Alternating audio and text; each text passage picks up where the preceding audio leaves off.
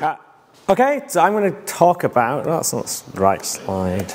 That's the right slide. I'm going to talk about uh, why your configuration needs a schema. Uh, a lot of the schema stuff comes later. There's a whole bunch of preamble that hopefully makes sense to people. Uh, so I'm Gareth Rushgrove, uh, Gareth R, basically on the internet. Uh, I now work at Docker, obviously previously at Puppet, um, sort of, but also like wandering around this sort of configuration management community a bunch. Uh, so I'm going to talk about the proliferation of configuration file formats. Um, I'm sure there's some sort of horror slides where everyone's like, yep, that's my life. Uh, I want to talk a little bit about the high cost of configuration management in a world of that sort of proliferation of, of config file formats. Um, and then eventually come on to why I think schemas might be an answer to actually sort of minimizing the cost and improving possibility and interoperability between a bunch of the tools that we like and, and coexist.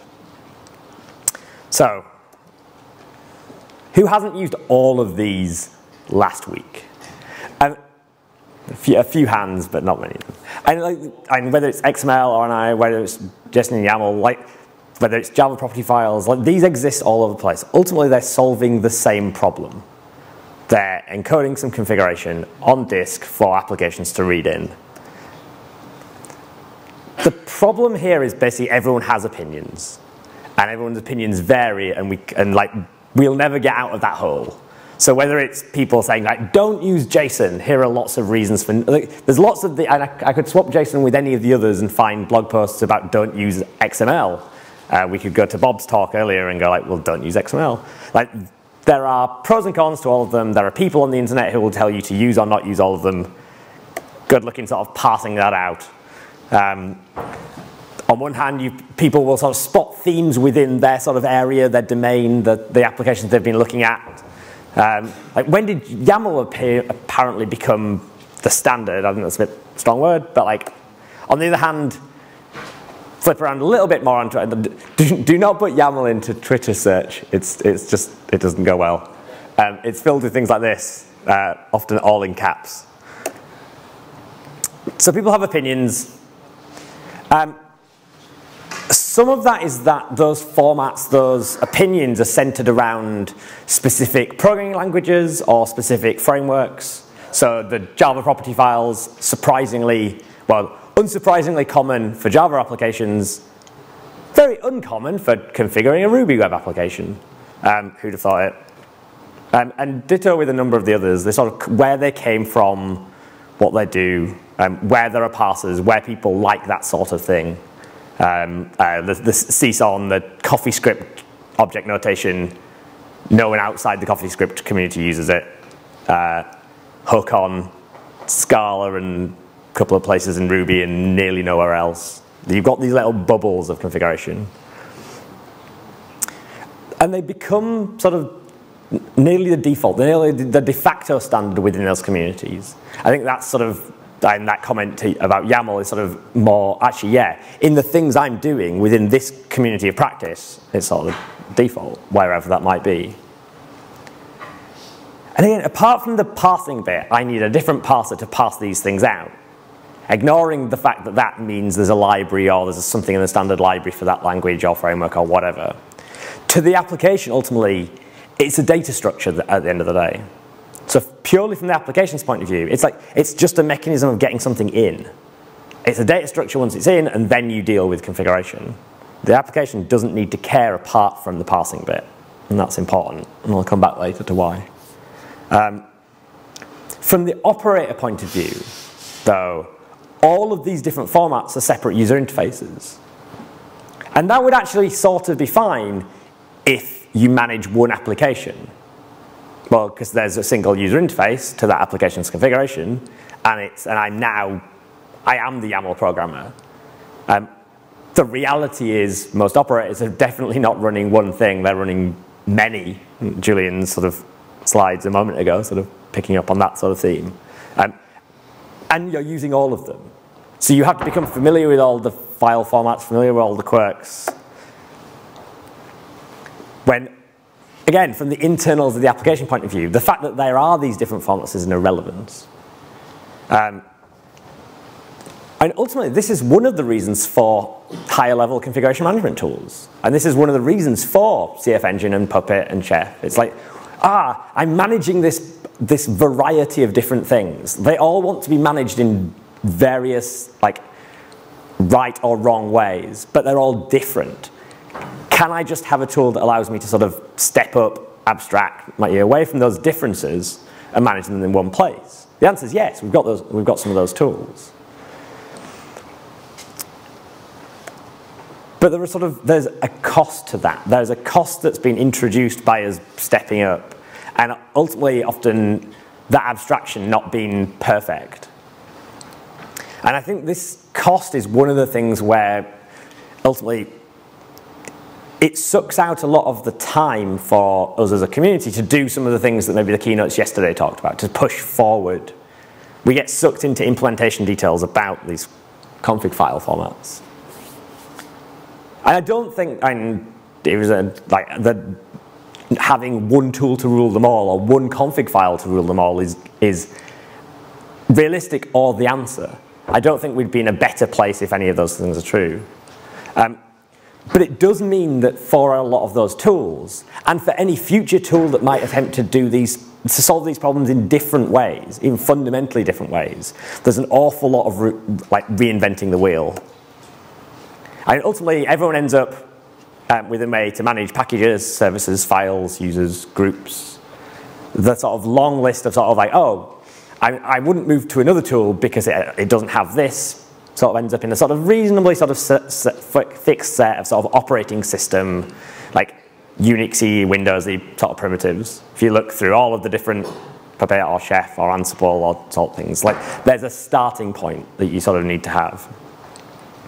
And I don't, I don't think that's actually a bad thing. Like, it's just a, it's, it's a representation of the reality of the operating systems we're managing.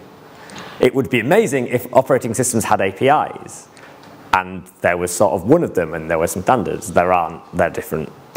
We'll get used to it. But way worse than that bit is like literally everyone ends up with a way to manage Apache. Um, and I'm picking on Apache in particular here, but literally that could be any application, any commonly used application. We all end up all of the tools, all the tool communities end up having to pay this cost of managing them. And that cost is non-trivial.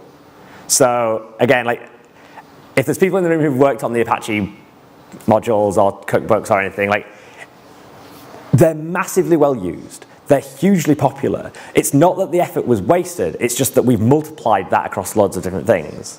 Um, and so all of these people who've contributed to the cookbooks and the modules and like the 300 Apache things on Ansible Galaxy, like, are doing good things. But if we would, if there'd, there'd been a little bit of planning, we probably would not have seen this much rework. Again, hindsight's a wonderful thing. I think in particular for people who spent a lot of time with maintaining the Puppet Apache module. Um, one of the things as well here, so I'm tying back to the sort of the config file formats, a big portion of that, like not the low level bits, not the packages and file and, and sort of file servers, users groups things, but the applications, a big piece of that is files on disk. It, it is the YAML files, it is the XML files, it is the JSON files, it, it is the INI files, a big part of it. And luckily I have data sort of back that accusation up. So uh, I did a talk uh, when I was at Puppet, uh, PuppetConf. Um, basically, there's about seven and a half million lines of, of Puppet code, basically freely available and open source licensed on GitHub. So excluding forks, excluding like uh, other branches, basically. Um, and I did a bunch of analysis. Uh, I wrote SQL queries with regexes in uh, to pass out a whole bunch of Puppet code from BigQuery roughly about 30% of the Puppet resources were file resources.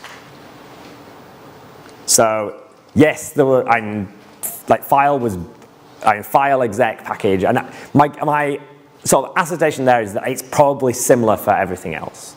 Be great to get some data, it's harder to get some data, um, but a lot of management of, of applications Apache, MySQL, Postgres, or your own web application running on some application server or running as a single self-contained binary or running in a Docker container or whatever. Um, a lot of it comes down to managing files on disk. And so how, how do you, like you've got these configuration management tools. Um, you've decided automation is sort of much better than people hand authoring these things. So how do you go about that? Well, option one is sort of templates. You're like, aha, um, I'm not just going to have like all of these files because they vary based on this data. I'm going to have templates and it'll all be great. Um, ultimately, at that point, you've basically not, none of the benefits of your chosen configuration management tool, whichever one you've chosen, and, and you're exposed to the configuration file formats themselves. So you'll have file formats for INI file. You'll have templates for specific INI files. You'll have templates for specific JSON or YAML or whatever files. All right. Templating XML is not a good thing to do, you'll find lots of people doing it. And ultimately, you're, you need a separate templating language. So you're not using Puppet at that point. You're using Puppet and ERB. You're not using um, like Ansible at that point. You're using Ansible and Jinja or whatever templating language you want. And you're starting to spread your sort of configuration across them.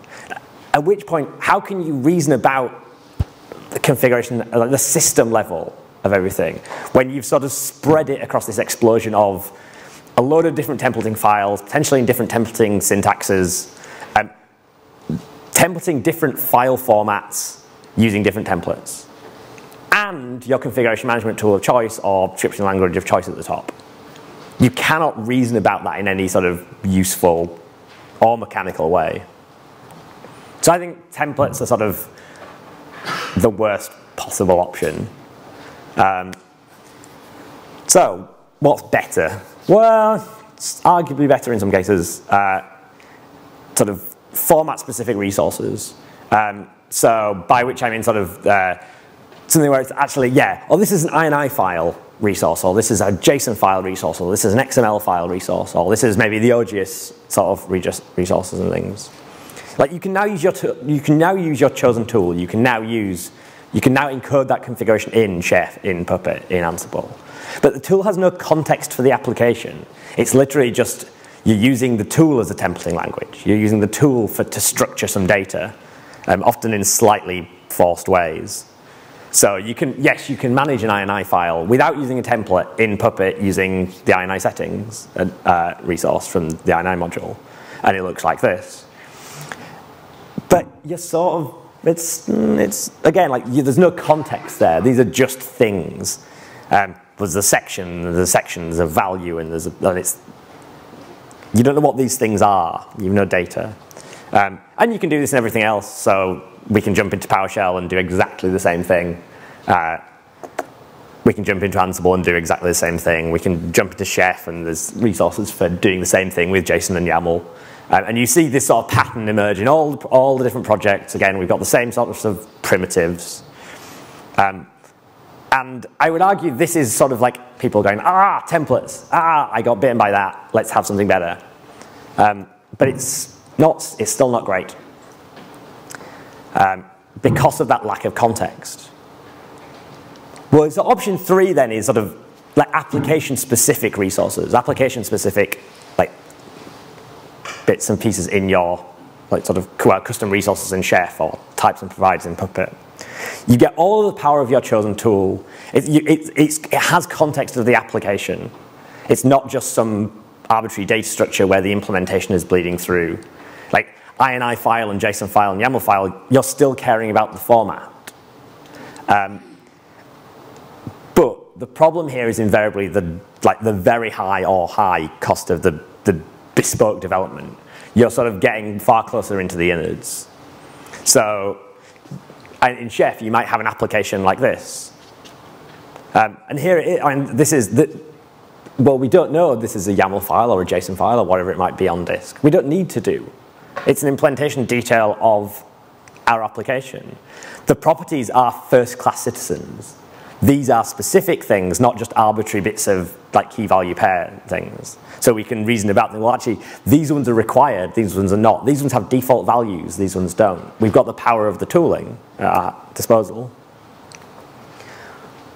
But as I said, like that's it's uncommon. It's it's even for sort of commonly used new applications, it's uncommon. For the app you built at work, like that and sort of my web app thing, like it's super uncommon in my experience. So how can we lower the cost of native resources for configuration tools? Because um, I think in doing so, there's a bunch of other properties that come about that are sort of useful. So I said schemas would come back and sort of, well, what have schemas got to do with any of this?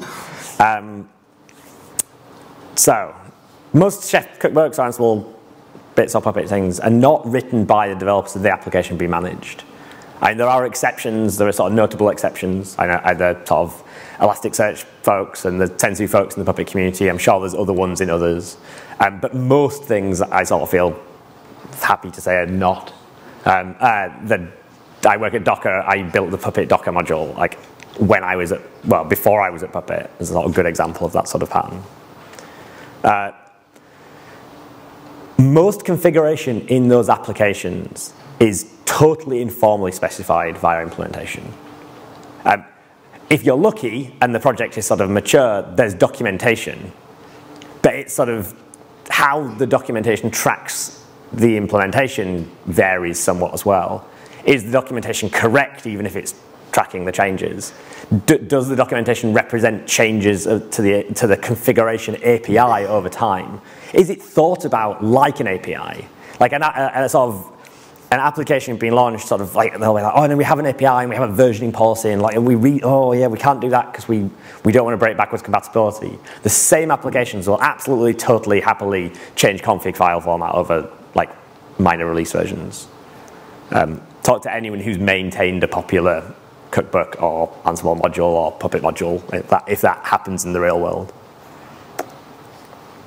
So what if instead of that situation, like where every, like, I, I think the idea maybe some people have had was, well, actually, oh, the solution here is that the application developers should build all this automation. The reality is the cost is very high and it's never going to happen. Um, and they're not always the best people to reason about how like things could be configured there, and they're not the experts in the tools. But they're not doing anything, i.e. going like, oh, work it out how it's configured. Work out how like what my configuration file format looks like based on documentation examples in the source code is also a bit of a uh, automation thing. What if instead applications provided a schema for their configuration? And I'll run with why that sort of gets interesting. So, stepping slightly to one side uh, as where this is where a bunch of this sort of topic came into my head really was around doing a lot of work with the Kubernetes community. So Kubernetes has really well-defined primitives um, for its configuration, so pods, deployment services, replication controllers, um, a whole myriad of others, as well as the sort of custom resource mechanism. Has, and they're, they're strongly defined within the, the Go source code. In, in, but they're also exposed externally as part of the, uh, basically the OpenAPI description for Kubernetes. So OpenAPI, uh, what was Swagger previously, is basically a, a, is a, a, well, a way of describing an HTTP API. It, you can you describe all the objects, you describe all the, the paths, um, you describe how to go about changing them. So that, oh, that one takes delete and get and put. If this is the shape of the object that goes into that one. All of that is described in basically one big file. Um, OpenAPI internally uses JSON schema. So JSON schema is basically a way of describing data uh, in, actually the schemas are written in JSON. Um, there's a spec JSON schema, sort of a bunch of bits and pieces there. And one of the projects I maintain is actually extracting JSON schemas for all of the Kubernetes objects out of the OpenAPI spec. So for every, for pod at every version of Kubernetes, I can say this is the shape it should be. For, me, for my purposes, I'm throwing away all of the sort of the HTTP bits. I'm saying like, but a pod is defined by these attributes, and they should be these types. And, I, and basically, this repository has them for like a whole, well, tens of releases of Kubernetes. One thing to know about Kubernetes is that it's massive. one of the reasons for them taking this sort of mechanical approach is that doing it by hand would be insane. Uh, so the swagger.json file, which is the OpenAPI 2 description uh, for, uh, for Kubernetes, is, is 85,000 lines of JSON. Um, I spent a surprising amount of time reading parts of that by hand, uh, which is a sad tale. Um, after extracting all of the types um, and uh, actually splitting this across a number of different versions of uh, Kubernetes, I think the last check I had like more than 26,000 files uh, uh, and more than seven, well, nearly seven and a half million. I think this is more than seven and a half million lines of uh, JSON now. This has got out of hand. Kubernetes is a huge project.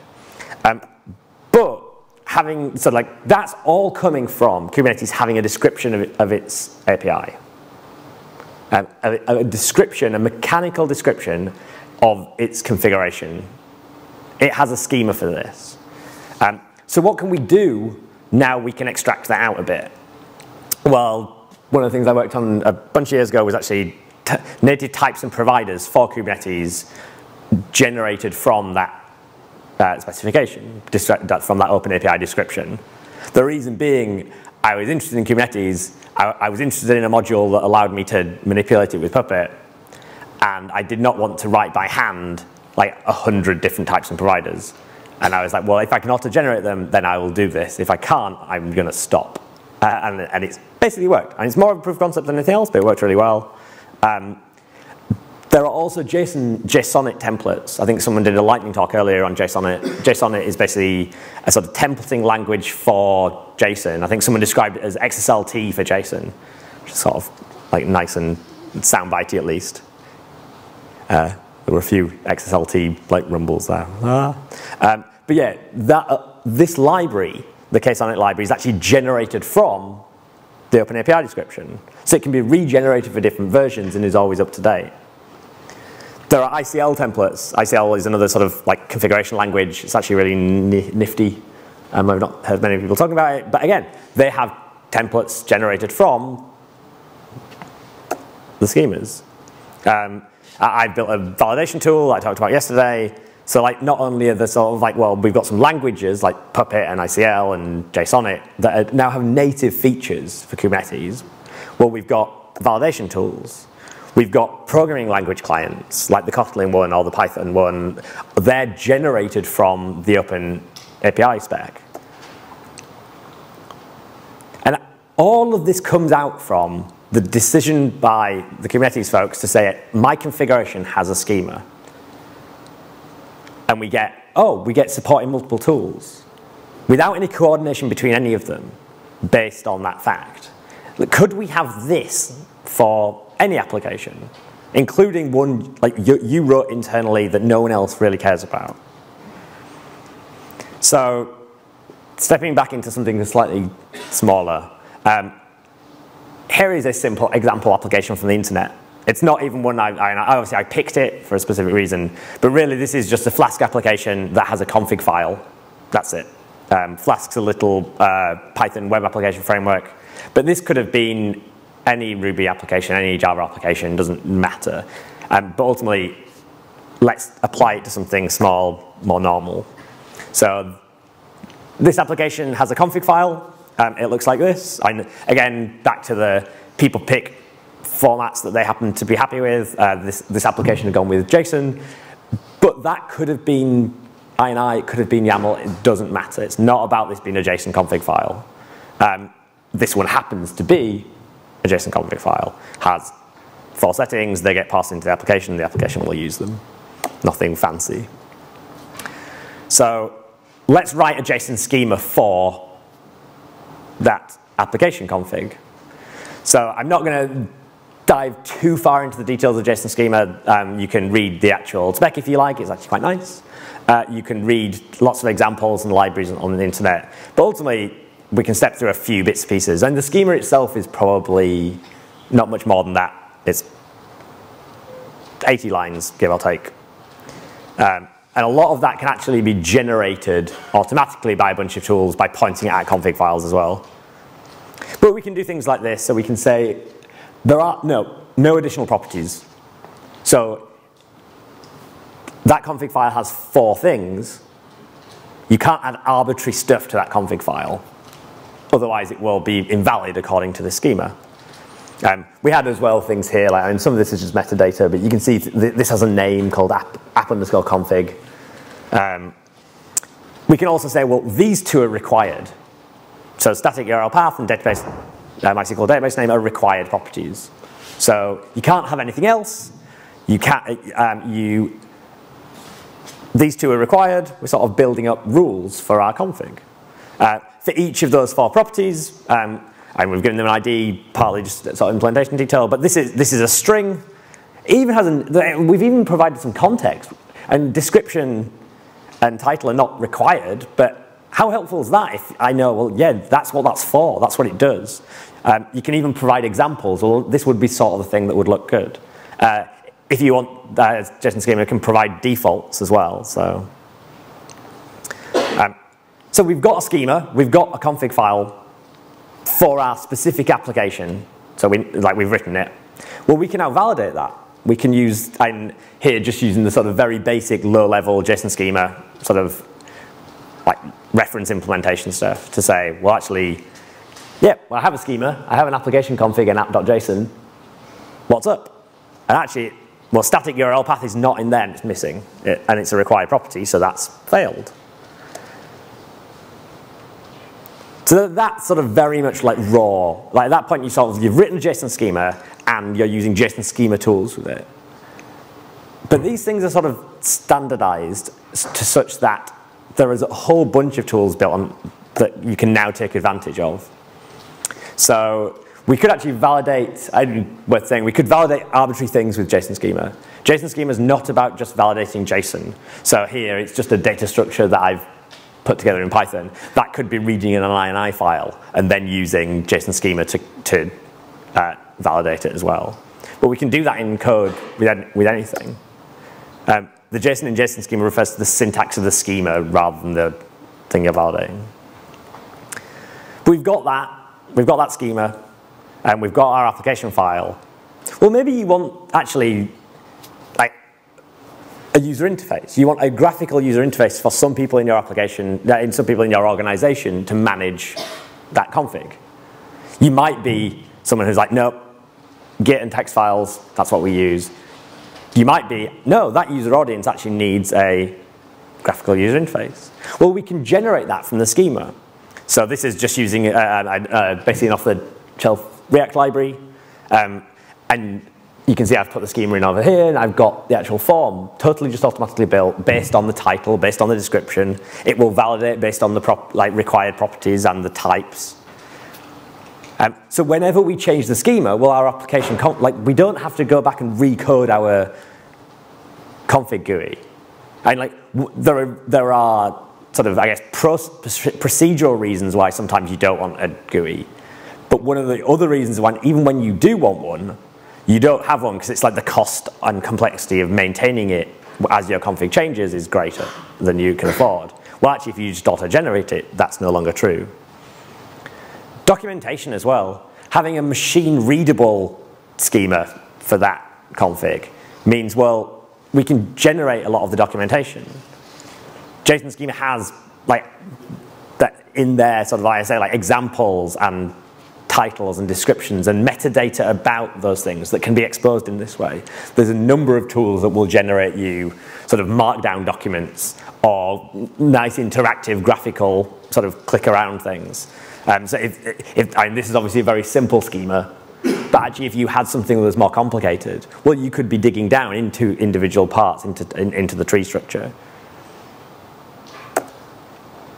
We can also generate client code, actual code in different languages to interact with our configuration. So you've got this file on disk, and in this case it's a JSON file. But actually, maybe you want to manipulate that with your programming language of choice. You don't just want to be going hacking into it. You want a programming client to do so. Um, there's a number of different uh, tools to do this. Uh, QuickType is really nice, pretty new. Um, this will generate models like in all sorts of different languages. So uh, if we take the schema that we had a moment ago, pass it through QuickType and say, ah, well, what's, what sort of, what's the types? That's just a sort of simple type sort of description. And you can see that, well, maybe is sort of the bit where it's like, well, these are optional. Those two are not optional.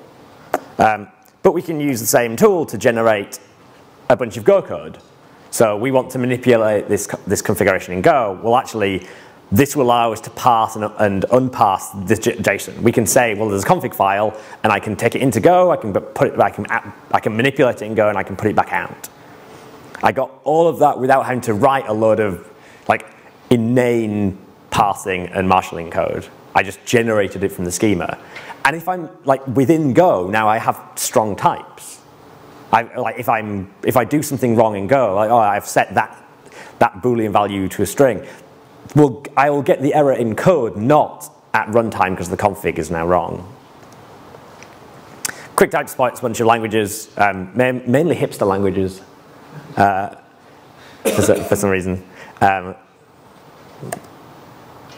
there's a, but that pattern of either generating code or actually, uh, for more dynamic languages, just not generating code, but actually just doing it dynamically, um, exists in a whole bunch of places. So I've been doing a bunch of stuff with Python JSON schema objects. Uh, if you throw in sort of JSON schema, JSON schema uh, objects, um, you sort of find a whole bunch of libraries in different la languages. Um, some of them are better maintained than others. It's the internet but they, they generally all sort of approach the same problem.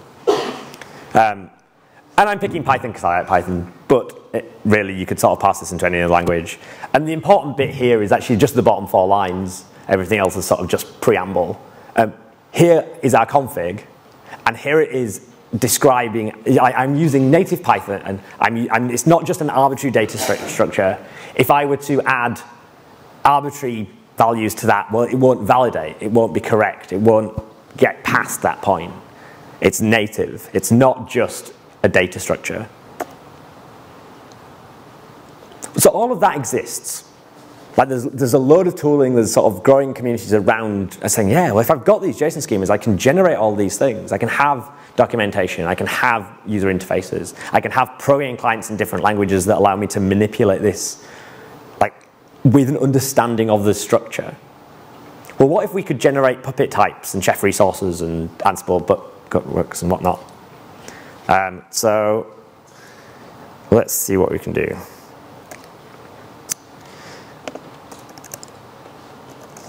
So I've got, where's the schema?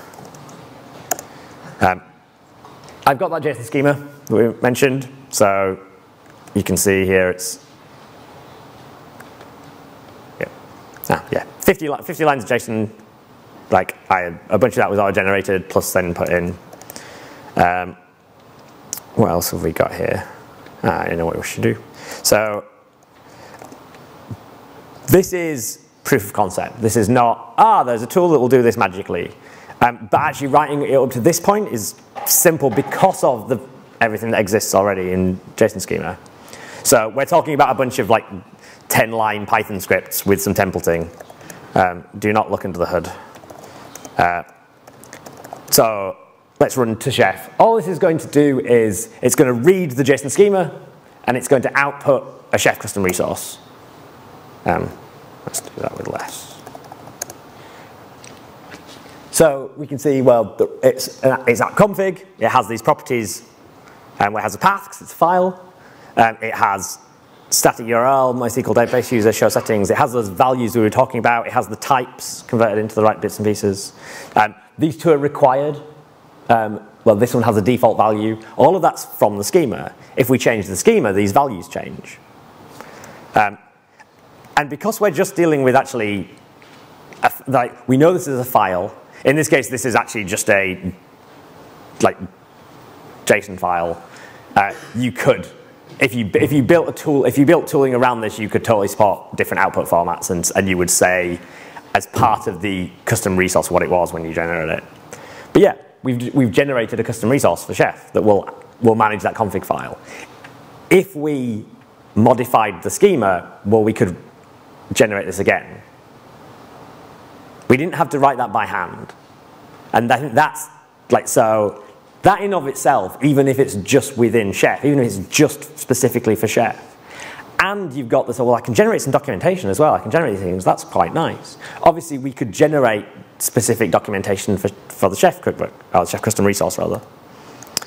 Um, but that would be boring if it was just that. Oops. We can do the same thing for, for Puppet.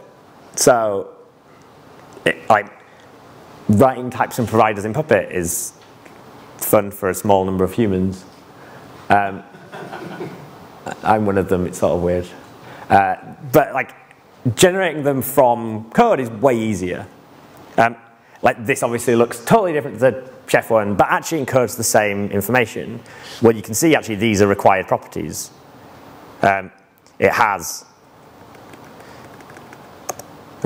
yeah, we can see, well, again, it has a, a, a parameter of path, that's the name, name var. We can see it has properties for static URL type. There's some type assertion bits and pieces going on.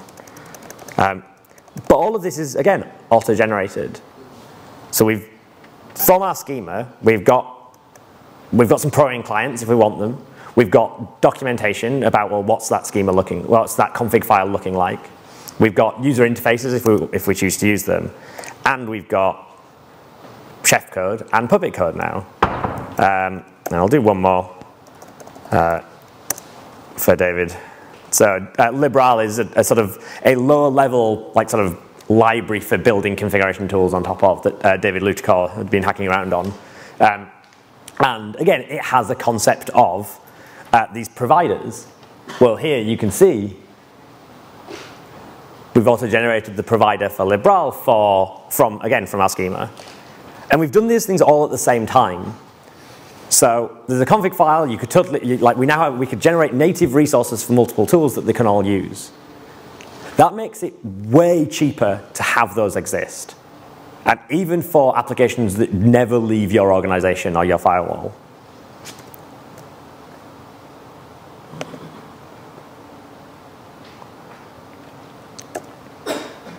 So I stuck these in here in case I couldn't like, do any live demos, plus they'll be in the slides later. But you've actually seen them working. So, concluding, I think schemas can allow for a lot more portability and improved interoperability between tools.